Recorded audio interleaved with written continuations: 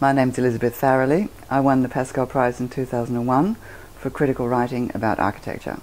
Oh, I felt, felt wonderful. I, I couldn't believe it, actually. I didn't um, know. They didn't tell me until I actually got to the party and I was going, oh, do I have to go? You know, I hate parties. Uh, and my partner, who'd been told, dragged me along and I'm going, this is a bit weird. Why is he, he doesn't like these things either. You know, and, and then I got the award. So I was flabbergasted and thrilled. It was fabulous. It was really wonderful and, and thrilling to know that your writing had been, you know, understood and valued. To my mind, the Pascall is really important in this country. It's the only thing really that recognizes serious um, criticism. And it's easy, uh, again, in this country to feel as a critic that you're completely isolated, that you are whistling in the wind, um, and not only that no one cares, but that somehow the enterprise of being a critic is, um, you know, negative. Most people see it as a negative thing, as criticism means carping, you know, or just knocking things down, you know, the tall poppy thing. Whereas I think that criticism is actually a really constructive thing, um, even when it's negative.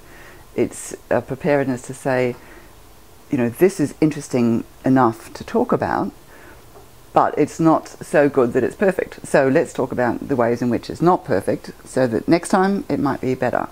We're kind of the earthworms, if you like, of the, um, of the cultural soil, turning it over and letting the, the light and the air in so that it can start to, to be um, more nourishing. And I think that's a, a very important job that most people don't recognise, but the Pascall does.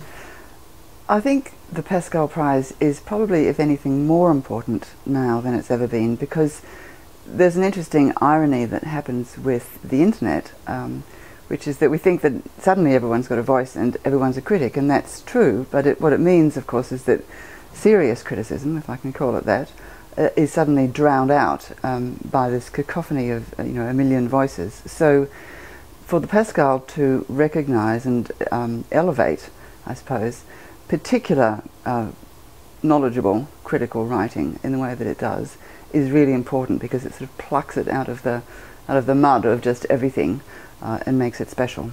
Thank you to the Pascall Prize just for existing, um, and I guess to Geraldine for existing and for starting all of this. Uh, she was brilliant, and it's a brilliant prize.